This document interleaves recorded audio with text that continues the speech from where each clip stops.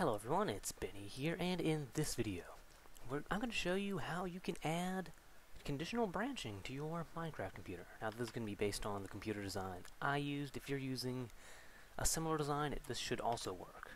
So, first off, I have made a couple of adjustments to the Minecraft computer I showed you how to build in order to make this work, because it wasn't initially set up for it, so uh, I did add a couple things. And the I only added the really menial things already because I thought you might want not want to me say, hey, okay, this needs to be this 300 block long wire that you have to watch me add every single block individually. Especially since since it's 1.2, I don't have world editor single player commands yet, so that's my reasoning there. Sorry for everyone who wants to see me lay out all 300 blocks by hand. First thing, I added the, the branch command. Well, this is a switch I put right above this and basically it's just a wire. And looks just like any other redstone wire. And if I follow it I take his, I'm taking it all the way over to here. Now next thing is we will need four extra commands in our programs that um in our program memory. So I moved our decoder over and added four extra wires in. And you can see these four wires right here I also extended out the, uh, what's it called? The clock line, the line that, where the clock is pulsing to. I extended that out, added a repeater so it reaches. And here that is. And I also adjusted this. I moved the four commands over here. And that's basically all the setting up I did already.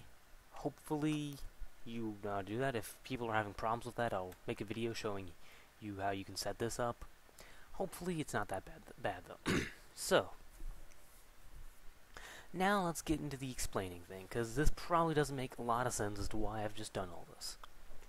First of all, of course, the branching command is going to determine whether or not we're going to branch. So basically, if this we aren't branching, we're just going to go to the normal next command. If we are branching, we're going to jump to some other command in the program memory. That's how this is going to work. So if 0, just go to the next command. If 1, jump to a different command. Now, we have four extra commands. The reason is because of our go-to system. The way the go-to system works is every single one of these lines of program memory, or lines of code if you prefer, every single one of them has its own binary number assigned to it. When our command register, which is this, this is the official name for this register, when the command register is holding the binary number for any one of these commands, that command is going to be the command the computer is processing. So if it's holding this number for this command, it's going to be processing this command. It's holding number for this command, it's going to be processing this command. The way the go-to system works is it holds a number, and after every command, and after, um, what's it called? Every program command, it sends whatever command you've written into memory over to the command register. And the whole effect of that big, complicated system is you can put a number for which command you want to go to next. So if I'm at the, it always starts with this command. If I want to go to command 2, I can do that by just putting in the number for command 2. If I want to go to, to this command, I didn't bother counting. Pretty sure it was command 7. If I want to go to command 7, then I could just put in number 7 and it would go to that command next. And that's the way this works. But if we want branching, we're going to have to hold two commands. One for if we're we're gonna have one command for our normal command, just like normal. This is the command we'll go to next under any normal condition. But if we're branching, we'll have a second command, and that's the second command we're going to go to if we're branching. This conveniently gives us a set of eight wires. However, our input register only needs four, command four commands, so we're going to need this big, complicated piece of redstone which is going to take this. If this is 0, it's just going to pass through our normal command. If it's 1, it's going to pass through our branched command to these wires. And I've already added repeaters and everything to that. So, hopefully that made some sense to you. If not, it's going to make a lot more sense when it's implemented. So, first things first, you need to invert one of the commands because of the way this works. And the way I have this set up, I'm using every ever command, so these four commands are going to be the non-branch commands. So these four are going to be the normal commands, and these four are going to be the branch commands. Very first thing we need to do is invert. And now I'm having doubts on whether or not I'll have enough space to do this. But I'll try anyways. In fact, yeah, I'm having serious doubts that I'm going to have enough space to do this. But, oh well. What's the worst that could happen? Okay, so now, what I need to do is, I'm pretty sure I'm going to need to do like this. And yeah, that's right. Okay, so I actually am doing this right. We need a double inversion here. And I'm not even going to bother explaining how this complicated mess of redstone works. but just trust me, it works. And I put the wire here because that way it's going to be taking input from our branching command. So this wire right here is going to be the ultimate control for the branch command. And what this builds is something called a muxer. And this just builds one of them, but we're going to need four of them total. And the way this works is you have the first command, and right now the muxer is just going to pass through whatever this command is. So if it's zero, if it's 1, it passes through 1. If 0, it passes through 0. Now, if this receives power, it passes through whichever one this one is. And, as you can see, a little bit, it does indeed doing that. Now, if I have this one off, this one right here has absolutely no effect on the output whatsoever. And if this is on, this has absolutely no effect on the output whatsoever. So, with that out of the way, this is a muxer. We're going to set up a big, giant row of them. And just in case you missed it the first time, you could go back, but I'm going to do it again anyways. You do like this, put a block here, and then you do like this, and there. And this builds you a muxer. And I'm just going to go ahead and do the rest of them off camera because hopefully... Actually, you know what? It's simple enough. I, I'll go ahead and do it here. And yeah.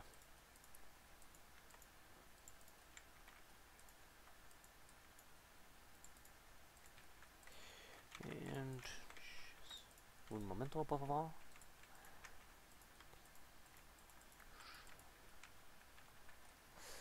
Eh, okay, almost done. And pretty sure that's not what's supposed to go there. And there we go. So now this is going to be our conditional branching mechanism. If we're not branching, we're going to go through, and if we are branching, we're going to go to the branch command. Now, let's go over how to set this up. First off, I'm going to go over to this command and delete it because you have not seen this command yet. So now, other than that, this is pretty much the exact same addition subtraction program I set up in the example, except, well, I have to leave the go-to system because it's big, complicated, and I haven't got it right yet. So, excuse, excuse me, because I redid it. I don't know why I, said that. I'm sorry, I'm a little bit tired right now. I just sort of woke up and made this video, so yeah.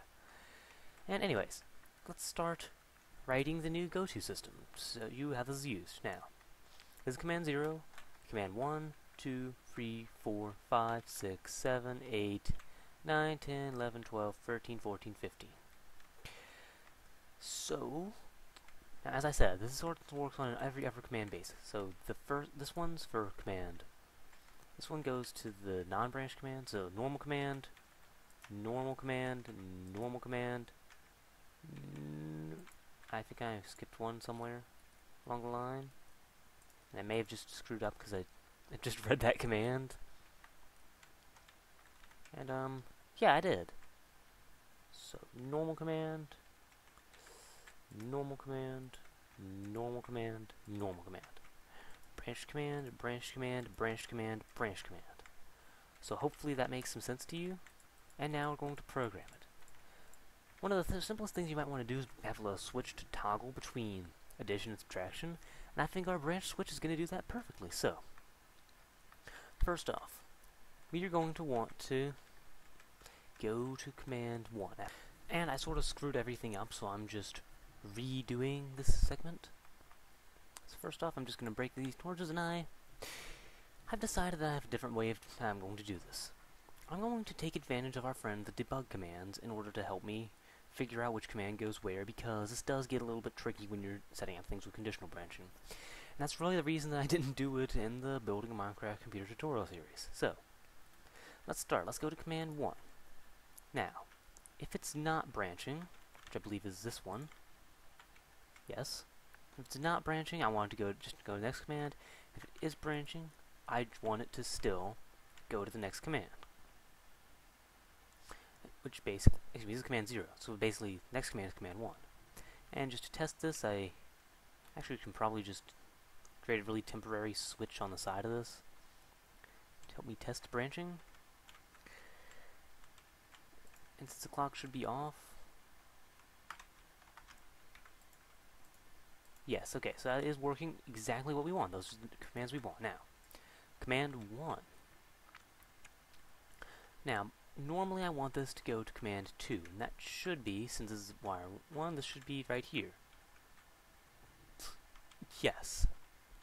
Now, if we're branching, I want this to go to command 3. And that's working. Excellent. So command 2. No, this isn't working. Okay. Best explanation is I screwed up some redstone somewhere. And look, I did. And now it's working perfectly. So, branching, go to as command 3, which is a subtract command. If not, go to command 2, which is the add command. Now, next one, this is the add command. Now, if we're still want, if we still want to add, basically should be the exact same thing as before. If we still want to add, just keep going to add, because that'll keep displaying the add system, because it'll need to refresh. But if we hit the branch command, we can change and go to subtraction if we want. So, there we go. Now the subtract command, which we haven't fully written yet, but we're going to do that in just a second. Now, normally we want to go to the subtract command, so that should be this. And actually, I think this is going to be the whole code, so... But normally we want to go to command 3. Yes, that's subtract command. But if we... Actually... No, actually I think you need the exact same thing again.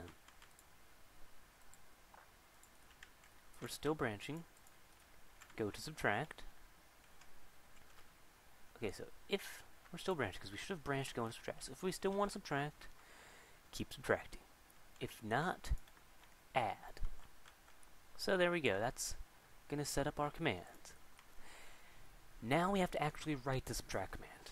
Fortunately, this is going to be identical to our add command, except for one aspect, which I'll go over in just a second. So for now, I'm